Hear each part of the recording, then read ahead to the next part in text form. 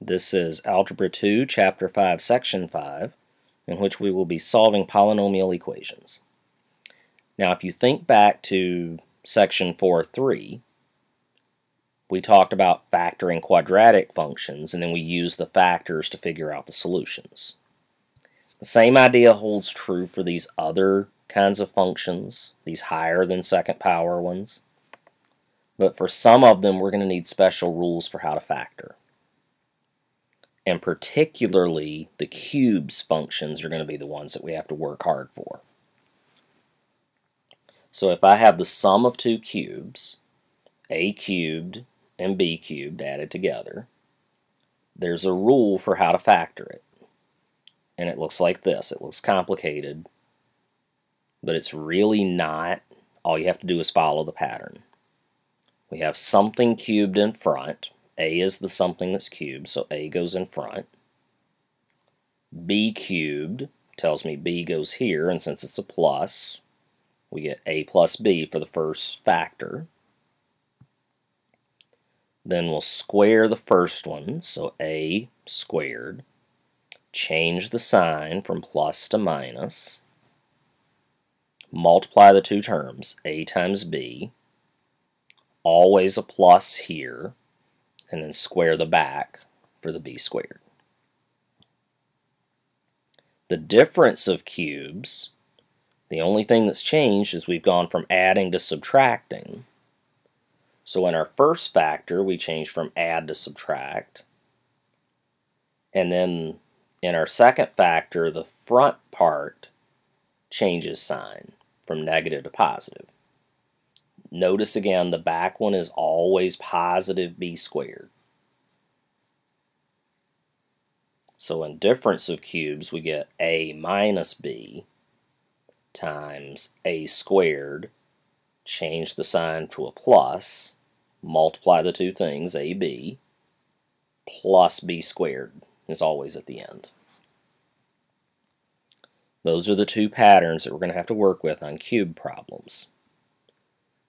What they're going to ask us to do is factor some of these things, if possible. We have to evaluate the problem and see if the rule applies. If the rule doesn't apply, then we can't factor it. We would say it's prime. So let's look at our first problem, 27x cubed plus 8y cubed. 27 is a cube. 3 to the third power is 27. 3 times 3 is 9, times 3 is 27. x cubed is clearly a cube. 8 is also a cubed. A cube. 2 times 2 is 4, times 2 is 8. So that's 2 cubed. And y cubed is obviously a cube. So I'm going to apply the sum of cubes rules. What was cubed here was a 3 and an x, so we have 3x plus a 2 and a y makes 2y. Square the front part. If we square 3x, we get 9x squared. Change the sign.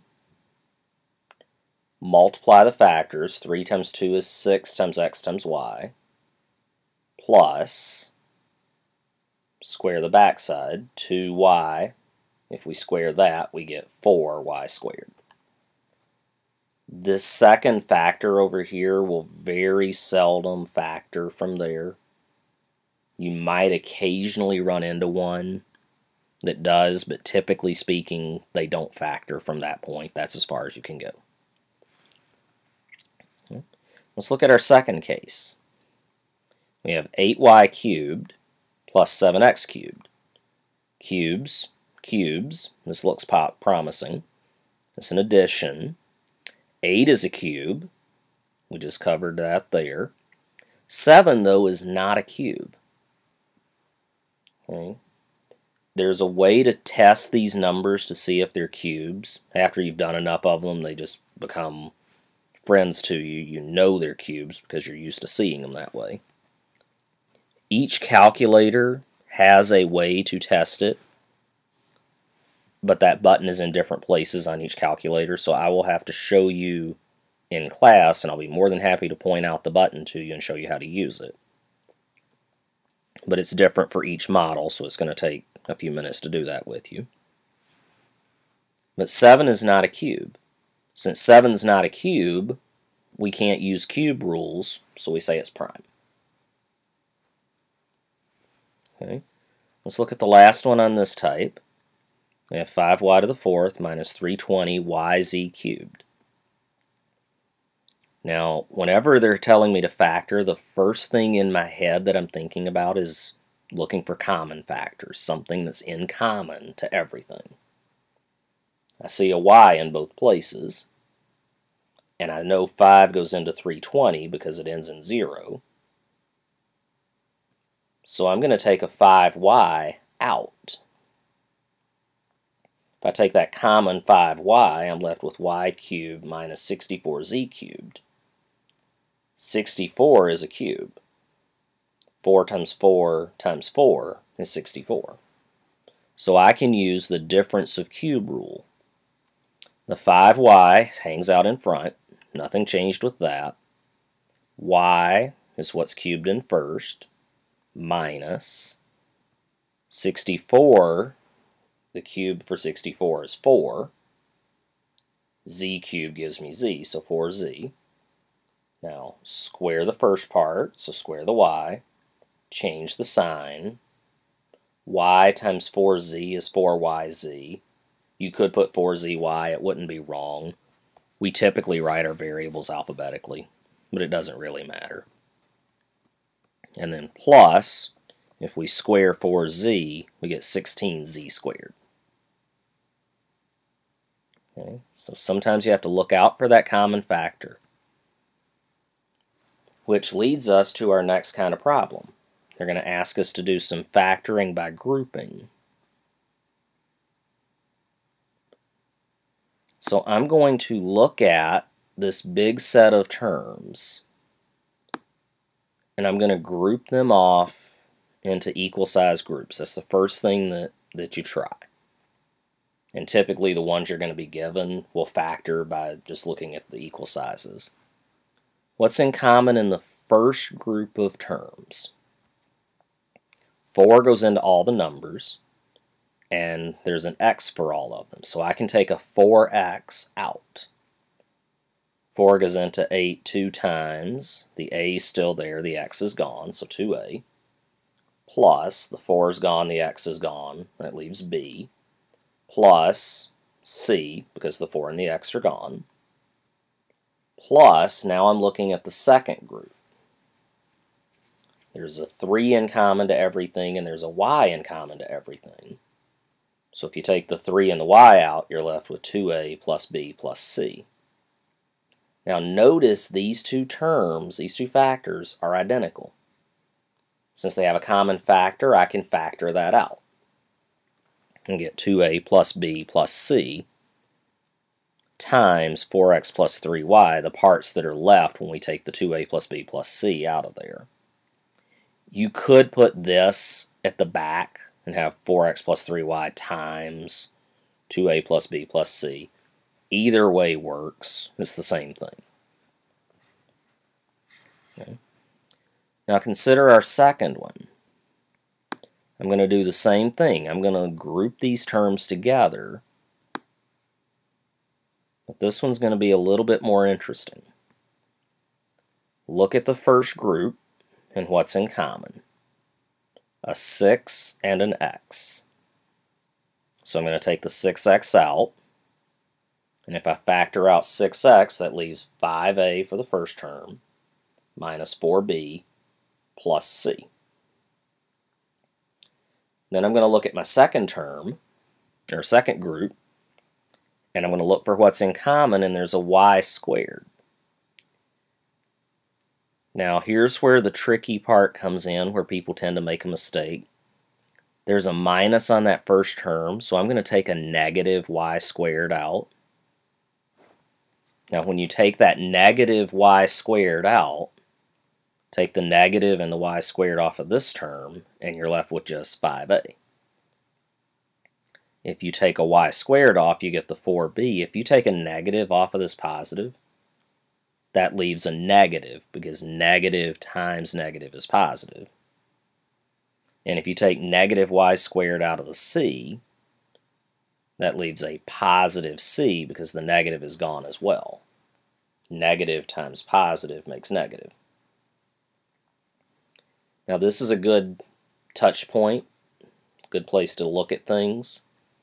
If these two factors don't match, the odds are you've made a mistake somewhere. Check for that negative and check to make sure you got everything that was in common out.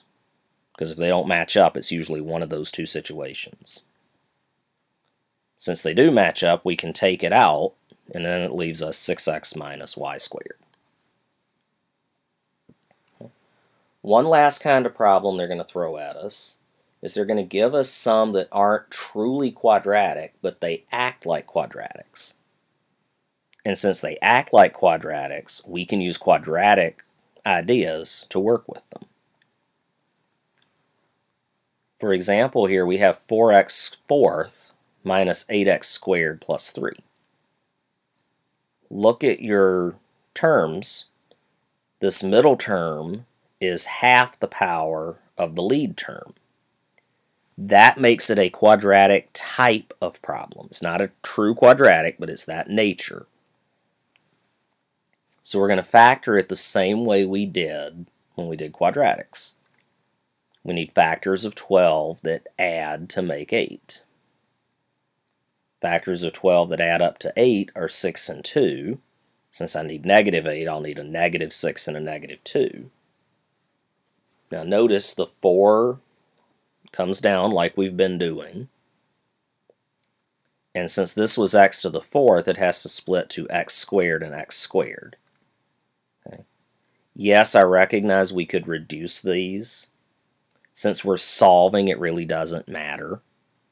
And in the interest of space, I'm going to leave out the reducing step. So 4x minus 6 equals 0.